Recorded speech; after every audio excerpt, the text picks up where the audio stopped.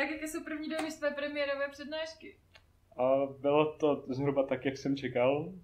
Byl jsem hodně nervózní předtím, ale teďka už se to nějak podařilo. Doufám, že jsem lidi trochu pobavil, doufám, že si z toho něco vzali. Myslím, že jsem dal i dobrý odkaz na to, na co se mají podívat, když budou chtít vědět, jak to mají dělat oni. Mm-hmm. Myslím si, že dobrý. A zaujalo tě něco z těch ostatních přednášek? Jestli jo, určitě. Viděl? Třeba něco, nevím, tak kdybys třeba řekl něco, o čem jsi třeba vůbec netušil, nebo co tě překvapilo? Tak neznal jsem Milana, který tady byl s jeho afilovou company. Mm-hmm. A hodně se mi to líbilo, protože mladý v podstatě tak jako já a otevřel si svoji vlastní společnost a dělá to zatraceně dobře, má přehled. To je hodně dobrý. Mm-hmm. A teď se tak nějak vrátím uh, vlastně k vaší firmě. Mm-hmm. Uh, prezentace vlastně, co jsem měla, točila okolo změny, že jo, Parfums na Notino, mm. ale uh, spíš z toho hlediska ven z firmy. A mě by třeba zajímalo, jak to probíhalo uvnitř vaší firmy, jestli třeba, jestli můžeš nějak přiblížit, je, jestli bylo složité, aby si vlastně zaměstnanci nějak zvykali na tuto vlastně velkou změnu. Mm, u nás to proběhlo poměrně jako dobře, ten plán byl jasně nastavený a dostali jsme všichni od uh, Michal Zámce, od zakladatele firmy, jsme dostali dopis, ve kterým vysvětloval, proč to děláme, proč to chceme dělat. A tam v podstatě žádný nějaký velký přešlapy mm. nebyly. Jediné, co se nás drží dodnes, a myslím si, že ještě dlouho bude, a i partnerů našich, je, že no vy v Parfums, hmm, my spíš v Notínu, ale to je jenom taková drobnost. Takže bude asi ještě trvat nějakou dobu. Jo, já si myslím, že Parfums byly zaběhlí u nás, teda byly zaběhlí natolik, že lidi to mají v povědomí a teď... Myslíš, pro mě v České republice? V České republice, ano. A současně i na Slovensku, mm. kde ten brand byl stejný vlastně, tak uh, třeba když se s někým, když potkám někoho nového a bavíme se spolu, kde pracujeme, tak já řeknu no no, oni úplně jako jde vidět, že si nejsou úplně jistí, tak řeknu Parfums a už jsme na správné mm. stopě. Mm-hmm.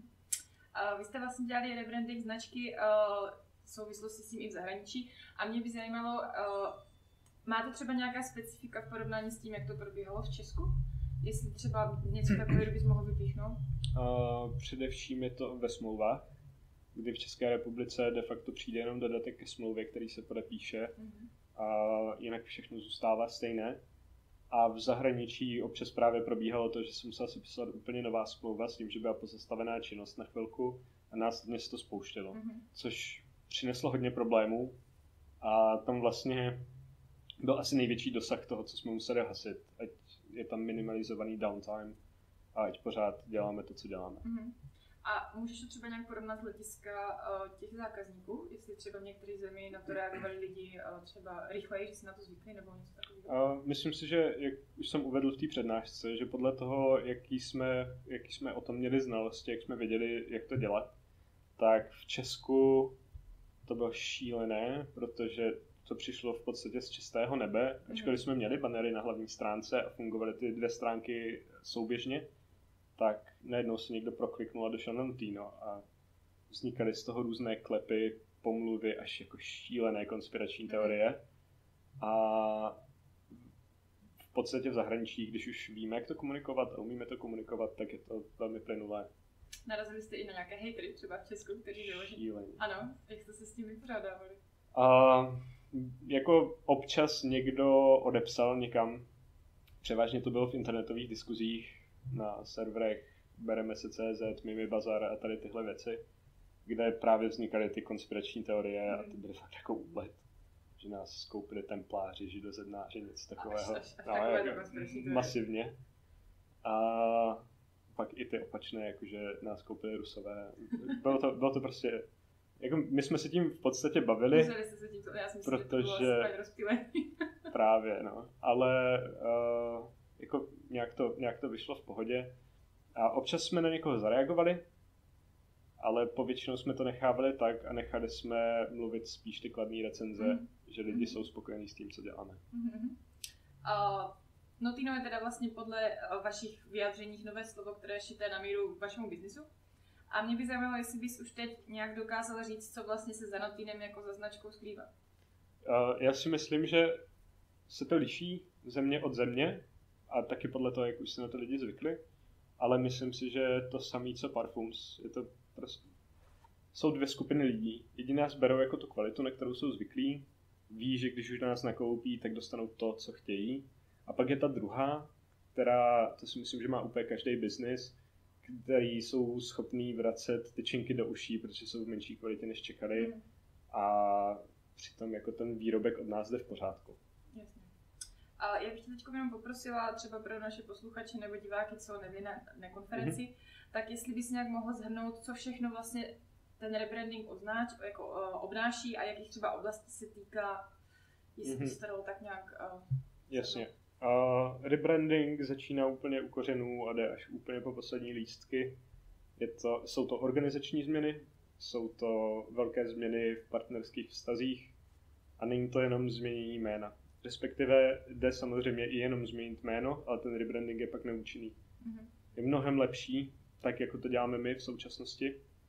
Byli lidi zvyklí na něco u Parfums a to bylo v pořádku, bylo to OK. A my to teďka s Notínem to táhneme dál. Třeba naše letní a podzimní kampaň si myslím, že budou v tomhle duchu už viditelně hodně, mm-hmm. protože máme mnohem víc nápadů, rozjíždíme to trochu víc a myslím si, že to bude lepší.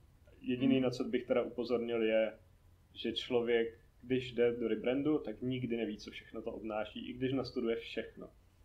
A je třeba pak počítat s tím, že tam bude nějaké období, které bude drsné. A vy jste se vlastně pustili do toho rebrandingu uh, uprostřed nejsilnější prodejní sezóny, čili vlastně před Vánoci. A mohl bys když tak nějak připomenout, jaké důvody vás k tomu vedly? Uh, přišlo nám v tu dobu, že je to dobrá doba na to, aby se lidé s tím zžili a zároveň, když by náhodou něco nevyšlo tak, jak jsme chtěli, takže to je doba, kterou dokážeme relativně bezbolestně překonat.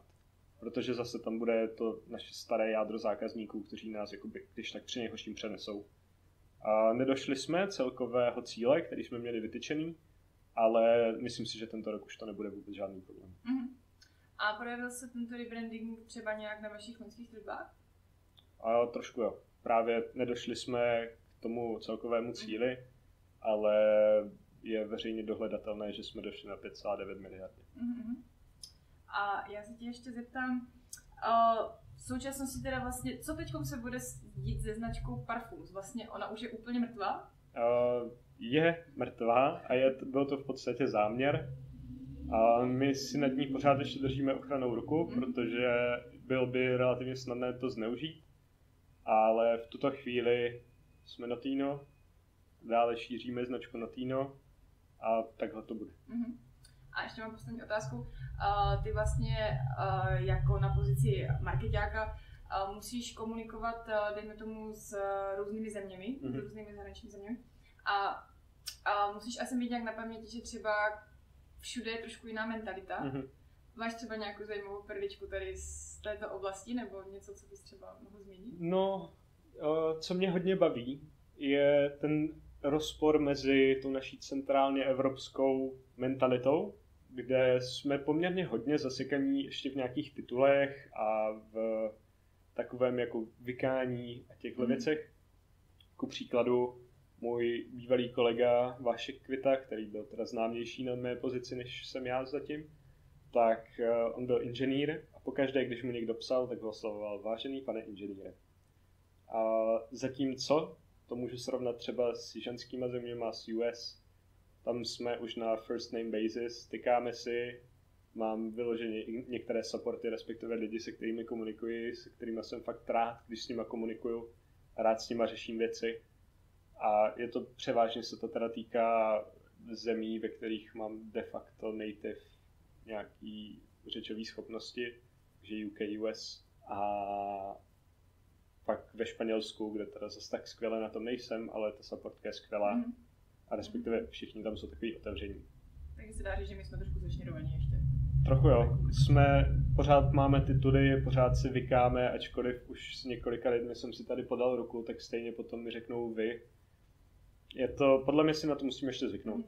Uh, mě by zajímalo, jestli se dá třeba nějak porovnat Česká republika uh, s ostatními státy v Evropě, uh, nebo i třeba v Americe, mm. jestli jsme tahouni v oblasti vlastně tady té kosmetiky a parfému, nebo jestli jsme spíš tak jako...